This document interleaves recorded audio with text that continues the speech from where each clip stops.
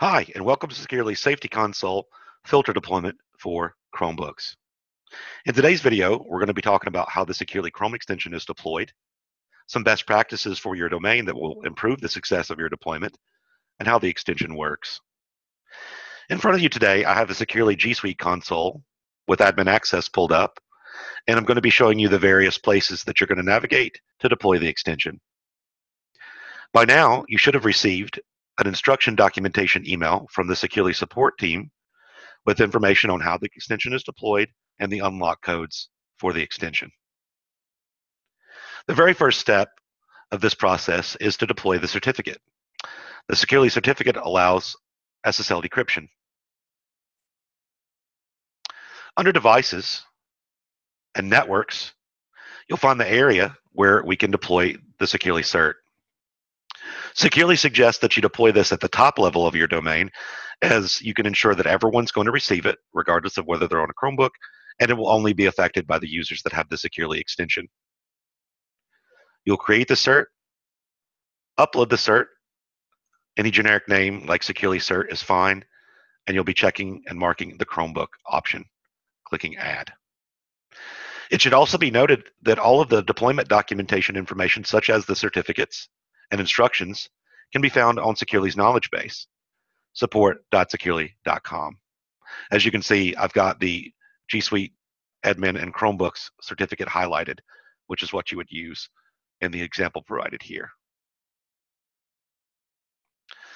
The Securly extension filters locally on the device by looking at the waterfall of traffic that's flowing across the Chrome browser.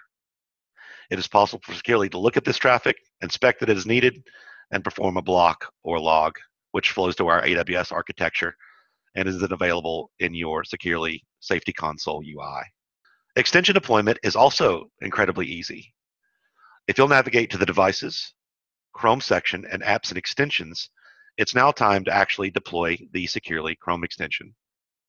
It should be noted that this extension is also user-based, which means it is not deployed directly to devices. In your Google G Suite OU structure, you can simply click a particular OU, find your targeted students group, and then we can deploy the extension by clicking the yellow plus at the bottom right hand side of your screen, the grid pattern, and then providing that extension ID and custom URL that Securly Support has provided in your documentation. Now let's also talk about once it's deployed, how you lock it down. And this will also include the best practices that I talked about earlier. Once the extension is deployed and saved, it will appear like this.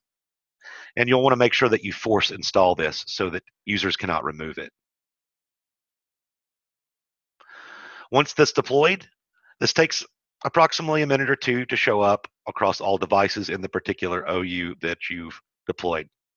Now let's also talk about some other areas that you can search for settings that'll make your deployment more successful. If I proceed to Chrome user and browser settings, it's also possible to search and lock a few settings and lock them down. Things like proxy mode.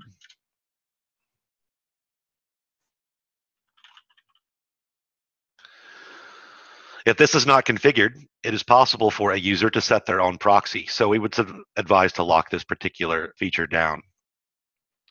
Developer tools. This will allow the user to manipulate some functions of the browser, which may make it possible for the user to crash the extension or any other extension that you may have deployed. So it's wise to limit the use of this to your filtered users. Incognito mode. Incognito mode removes all extensions, so it will probably be important to block this from users that you are doing filtered. Task Manager.